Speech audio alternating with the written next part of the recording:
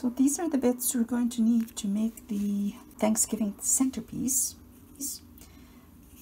Some brown pipe cleaner, a couple of circles, cardboard, piece of crayon, some cutout leaves, some styrofoam balls, a little bit of glitter decoration I pulled from a, an old centerpiece I had, and this is a little acorn. I'll show, we'll talk about that later. That's um, little walnuts. Let's first cut out little circles. This is just plain card. And the size of the circles, you know, the, the larger one in um, inches is about an inch and a quarter. The smaller one is about an inch or centimeters. The smaller one is about two and a half centimeters. The larger one is about three centimeters. Is just a little cap and like that. That's one. And then a smaller cap, you can see, a little smaller for the inside. And you do that as well. I use scissors. But when you do cut with scissors, you'll end up with a little bit of jaggedy edges. And I find it really easy to just take, this is a little piece of foam glued some sanding paper to it. And I just cut off the rough edges. Now in this project, it doesn't really matter because it's going to be rather covered. And you do the same thing with the other one. Glue these two together. I use just plain, uh, I, use, I like to use wood glue for a lot of projects. Like so, like that. Now you'll see why I've done that. Don't really have to, but I just thought it gave it a bit more dimension. Maybe while that dries, I'll show you the tools. Clippers, something to cut the, um, the pipe cleaner. Uh, we'll need an embossing tool, uh, toothpick for glue. Like I say, I've used Titebond. This is the, my preferred glue for just about anything. I use it on fabric, on wood, on, on um, card, uh, paper, um, and you'll need some brown paint. I picked brown for this. Instead of paint, you can also use a marker or some wood stain works well too. And I prefer the marker or the wood stain because it dries faster. Pencil that you just saw me use, um, a little bit of sandpaper. Uh, like I told you, I put it around a piece of styrofoam. It's nice to have a flat one. You can get these from the dollar store, nail files, but I have a particular uh, sandpaper that I like to use. Uh, I think that's all we need to do now is paint this, and I've chosen to paint it brown. This is uh, depends on your personal preference as well. I mean, you could paint it green, you could paint it orange. This is your centerpiece for your decorations. And I'll just do that. I'm just using the lid because usually you get lots on the lid here. Nothing spectacular on the paint and you'll see my hands will gradually go from clean to not so clean because I like to use my hands and see there's nothing really uh, very fancy with it. Put this in water and I will see I'll put that on top of this to dry. The next thing you need to do shape the piece of pipe cleaner. Now you may want to do orange because this pipe cleaner is going to go on top. This particular orange one that I have is um, um, is narrow. So if it's really narrow, just bend it, bend it together. Do it like that. Now I have a piece of orange that is a little thicker than what we started with. You can choose to to do orange and brown. This is what's going to go around your circles. Or you can also do white. Um, if you don't have any of those other colors, don't go out and buy it because take the white and you can see what I've done here is I've painted it. And I can use a marker like this. This is what I've done to show you, put it over here, and simply color the the white to the brown that you like. Again, I'm using a marker because it dries nice and quickly. If I use, there you go, see? You can get a nice brown, just about the same brown as that, or you can, you can paint it the color that you like. I'm going to use the brown. So to get this to the, that round shape, as you can see, it, it will be difficult for gluing. What I've done is I've shaped it, sort of trained it to be going in a round bit, in a round shape. So now you have something that's not going to be so hard to shape into this round because this is what I'm going to do. Okay, so now we have this, I've done the second coat on the bottom so it's a bit even and we have it dry. We're going to cut the pipe cleaner down to the size that we need to put over it. So what I've done, I've cut a little bit longer so that I could twist it together. That that way I know that it's gonna stay. And there it is. That's gonna do this. Now my intent was that this would look like foliage, old brown foliage. I will show you how that goes from being smooth, don't know if you can tell here, smooth, to this more um, kind of um, rough looking, foliagey looking. Um, so we will glue this down again just with my regular wood glue or any PVA glue, any um, white glue will do. But I like this one because I think I mentioned to you it dries fast, clear, and, and then take the bit and lay it down. And in no time at all, it will be dry. So you might want to do that like this. And these little clips are wonderful. There you go. Leave it there. While that dries, I will show you how to do the little embossing on the little leaves that we have. We're going to need the leaves. Do the embossing of the leaves. Or I've also used, as you can see, this one is well loved. So anyway, I like this one kind too. It's kind of nice thick foam. And just run some veins or do a little bit of shaping. We're not going to use all these.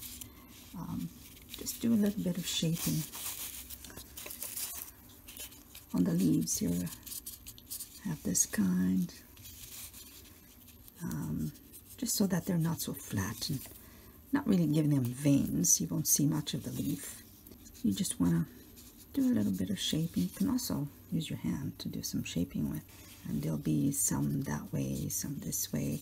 Got a nice little round one. I like these, the oak leaves. And so these are nice. It's from a punch. These, this is all, always also comes with it. You notice they're not all perfect. Some of them are cut at the bottom. Um, because realistically, when you're picking these up from the ground, from where the trees are, most of the time, they won't be all perfect. As you can see, I'm not being extraordinarily careful with these. It's just to shape them a little bit.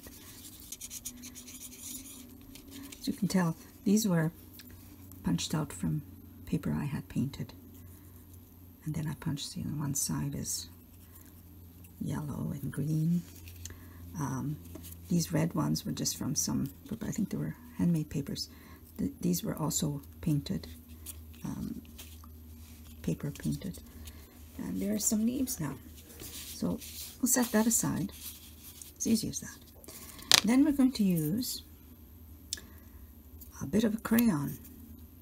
And the crayon that I've picked for this one is red. May want your centerpiece to have a red candle because this is what this is going to be.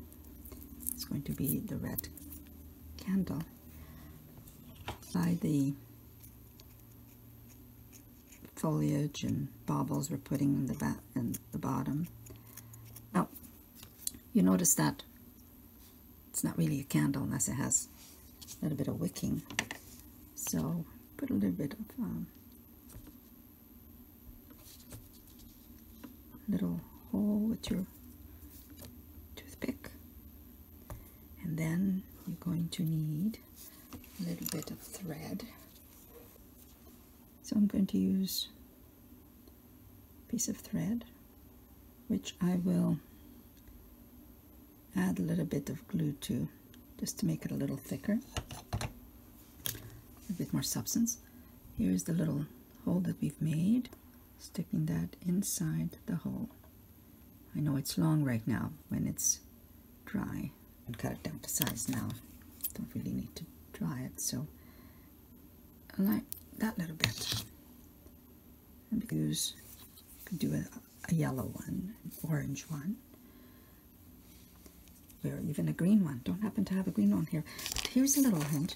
Michaels is now selling crayons just the colors that you want you don't have to buy a whole set of colors just to get the colors that you need. You can actually go there and just pick all purples or yellows, oranges, or, or the colors that you would most use. I found that was interesting the other day. Um, after throwing out many, many bits of crayons from the, when the kids were young. Now, the baubles that I'm going to use in the centerpiece, um, we're all very familiar with this. Twigs for autumn uh, flowers. They come with other foliage. Michaels Dollar Store. And these ones were just orange and yellows. And I also had uh, some green ones. Now these are shiny. And I also found um, ones that were not shiny. A whole bunch here. I know that they look like they're broken, but you hide that, so it doesn't really matter um, saved a whole bunch uh, to use in the projects. So in this one, th these two got came stuck together. So I'm going to use these two. And I think I'm going to use this green one. But then there's also this pretty one. Oh, maybe I'll use this pretty one. I really like it shiny. So to get the shine away, there is matte top coat um, nail polish. It's actually matte. So if you put that on your item, it'll turn the shine into a matte finish um, like that. But another thing, if you don't want to really go out there and get that, you simply take some glue and you run it over. Here's a chance for you to get glue all over your finger. So you run that on the shine and when it dries, you'll get the color, but it takes away the shine. Um, I'm going to leave a little bit of shine on, on these two, and then this one that's not shiny, or use these three, maybe one of each. Then there's this little bit of glitter that, I don't know, this is kind of a foliage thing from a Christmas ornament, but I wanted a little bit of the red in there. And these are acorns. Now they're actually acorns. Can you see? Let's see here if I focus a little bit. It's an actual acorn. Um, and it's usually stuck together. And that's a little bit bigger and you can actually see the acorn shape. And this is what I've I've gathered. Um, some smaller, see they've got the little twig. And that's pretty too. You know what? I might just use that one with the with the twig on it. That's pretty. You can find these little pine cones. In autumn, beginning of the season, they'll be on, on the ground. And then, yes, these little guys will be my walnuts. They are dried papaya seeds. You take the gel off of it.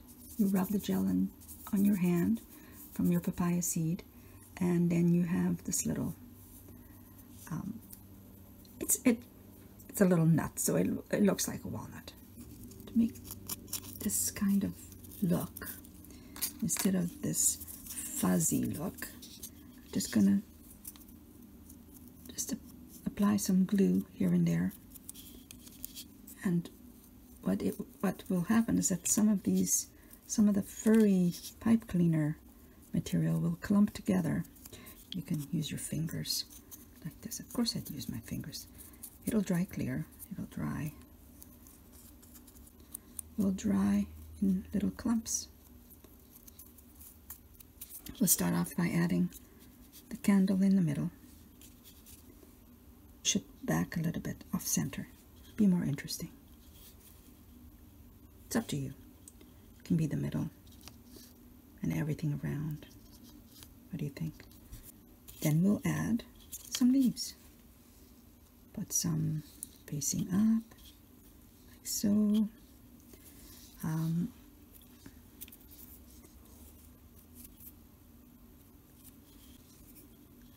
that. I'm going to do this one.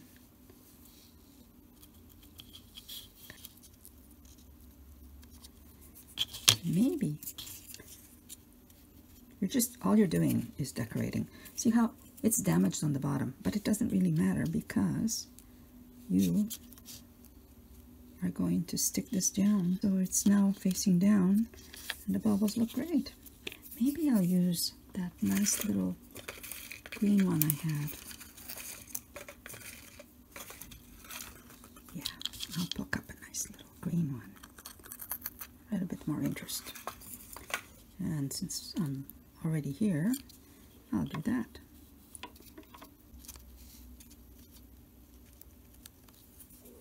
Like that. And we'll add some more leaves here. Little this little glitter thing.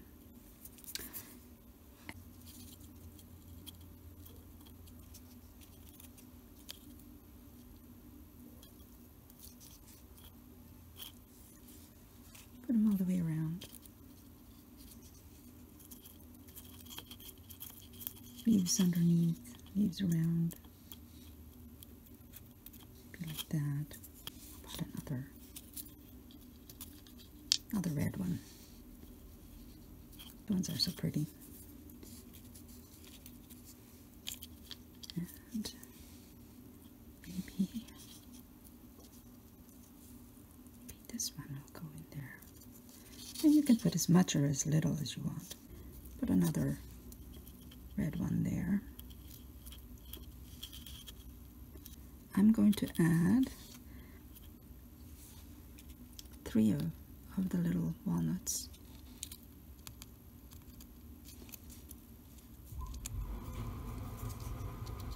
Two and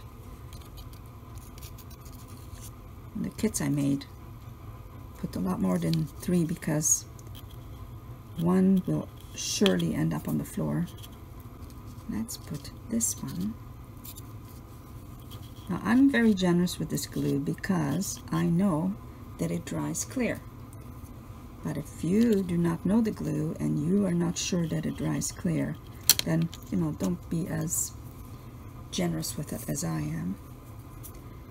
Now I'm going to show you one at the end of the video another one that I've done uh, instead of round I've used an oval what do you think finished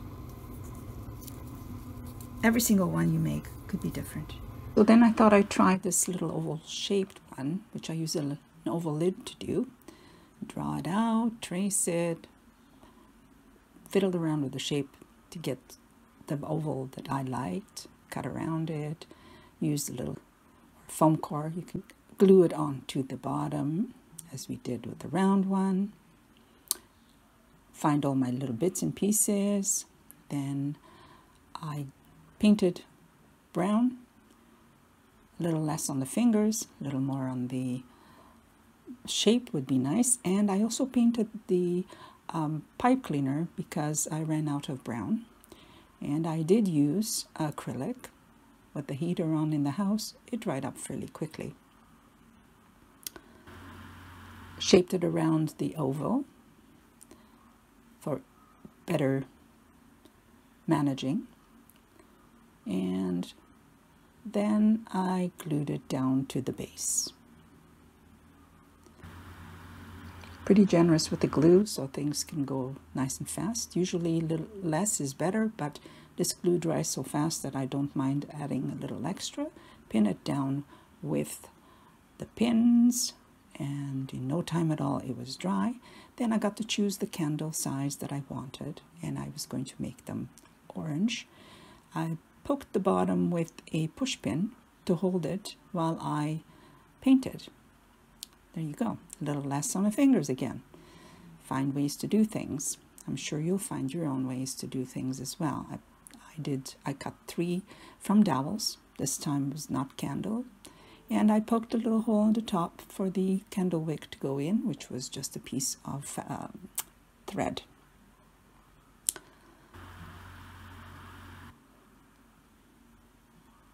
A painted dowel is perfect candle as well, or a piece of straw as long as you cover the hole. And you start putting them in place. I put one, two, three in a row, but you can put the three of them stacking in one end together and then your decorations on the other side. This is the fun bit. I really enjoy doing that. Again, did a little bit embossing on the leaves, a little shaping. Not really embossing, but a little more shaping. And lots of glue attached to the base the way that you feel you like. Variation in colors. I find these are very autumny kind of colors. And